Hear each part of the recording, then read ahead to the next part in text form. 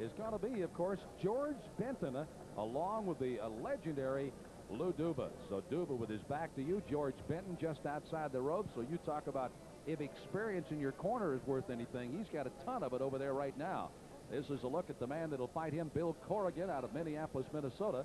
7 4 and 1, 245 pounds. Interesting enough, out of all the heavyweights we've had, this was the heaviest we had. All the rest were right below 225 and very well prepared for this fight.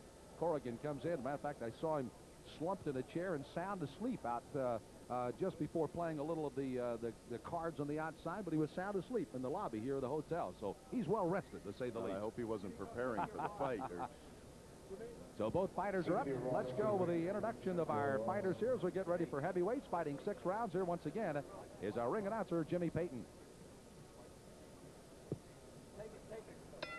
Ladies and gentlemen, the next bout of the afternoon, six rounds in the heavyweight division. Introducing first, in the blue corner, he weighed in at 245 pounds. He has a professional record to his credit of seven wins, four defeats, one draw, and five by KO. From Minneapolis, Minnesota, welcome Bill Corrigan. And introducing in the red corner. He weighed in at 220 pounds. He has a professional record to his credit of 11 wins, no defeats, and 10 by KO. Fighting out of Samoa, let's welcome David Tua. Six rounds of boxing in the heavyweight division.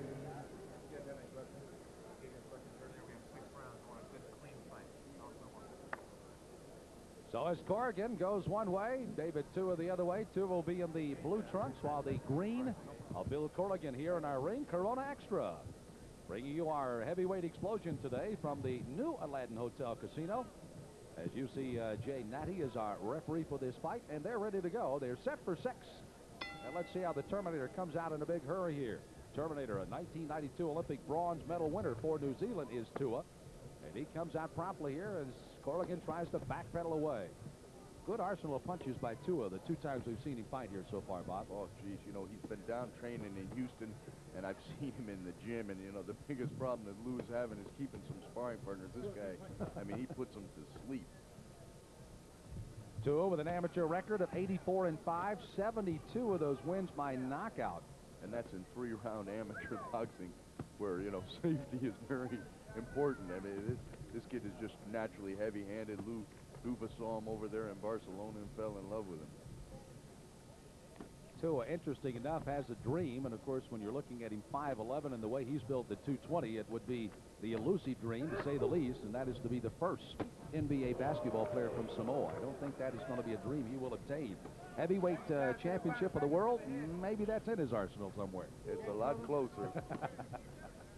but he is he, he's you know he's taken his time here David Tua a little bit he's, he's landed a good right hand to Bill Corrigan's body which I don't think uh, Lou and Georgie Benton when they were sizing up Bill they could miss that he's carrying a few extra pounds around his midriff by the way, I wanted to tell a story, but I wanted to make sure that David Tua was way across the ring. By the way, they used to call him a sissy when he was growing up. As a matter of fact, his sister bloodied his nose and even would hide from his dad when he suggested doing a little sparring. Well, that seems like a 100 years ago for this 21-year-old. He's come a long way. He's a tough customer in the ring now. Junior Jones has got a similar story. You know, the, the great bantamweight out of New York. His, his sister used to force him to fight. Tua again has been somewhat toying here. Corrigan trying to back him up for the lead right hand. Hasn't thrown much of the left jab. Tua again hooking with the left and right hand. George Benton, by the way, leaned into his ear just before the uh, first round started. You almost had a feeling he told him, just go out, let's work a little here in the first round and see what we can get away with in round two. And unless something happens in the first round, don't worry about it. Just go out and test him out here.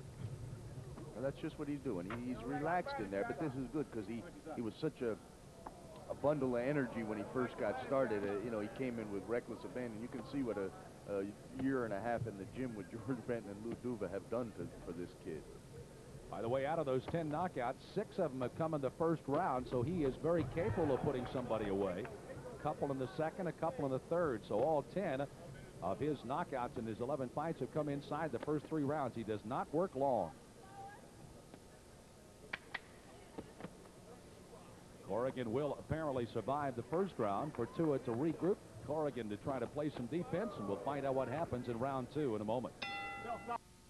Second round of a scheduled six rounder here. Once again, as the two fighters step into the center of the ring.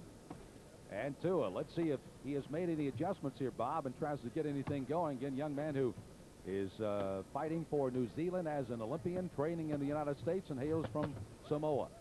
Again, I had a chance to visit with Lou Duva yesterday, and they took him, David, home. Had a nice big crowd for him, big homecoming for him, and uh, they look forward to going back there again. It, I like his defense. You know, he's picked off everything that Corrigan has. Uh, he's definitely working with Corrigan here a little bit, but uh, you know, he that doesn't stop Bill from trying to hit him. He's parrying his shots. He's working good, and he's coming in there looking looking for a clean shot to put Bill Corrigan back to where you saw him yesterday, Sam. Yep, sound asleep in a chair out in the lobby here at the at the Aladdin Hotel. you see how good Tua goes to the body. I mean, he hooks that body as well as anybody. You can already see some redness, and now he comes upstairs with a headshot. He's another example of, of, a short fighter that, you know, uses that his height to his advantage. Ooh. Oh, big punch, and Corrigan staring at the ceiling. He will not make it up for this one. Corrigan's going to be out, and he's going to be stopped here as the referee, Mr. Nady, says, no, it is over in round number two. Rightfully so. Well, Corrigan, when he fell almost straight backwards, was looking straight at the ceiling, and he really took a shot from David Tua.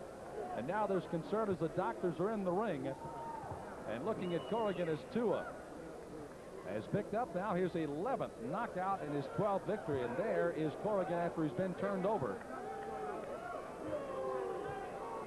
But David Tua, again, with those short, compact punches of his, lashed out with one there, and down goes Corrigan, and he's out here in the second round. Tua controlling easily round number one. Lou Duva looking over to make sure everything's all right there. Now Corrigan getting up on the seat of his pants. He'll be on a stool. And there he's down and gets a nice round of applause here from the crowd. Let's take a look at what happened there in the round. It came so swiftly. Let's see what punch did it. You can see the body, one going a little bit low. Those body shots had started to take, and it was a left hook. So the left hook is what finally put him down, and it was a wide sweeping left hook, and down goes Corrigan. This is a better angle of it. There it is. Boom. Got him right by the, the ear. One minute, 17 seconds of the second round. Winner by knockout, David Tua. So David Tua still undefeated now, 12-0 with his 11th knockout. And this young Olympian starting to really make some noise under the tutorship of uh, George Benson along with uh, Lou Duva.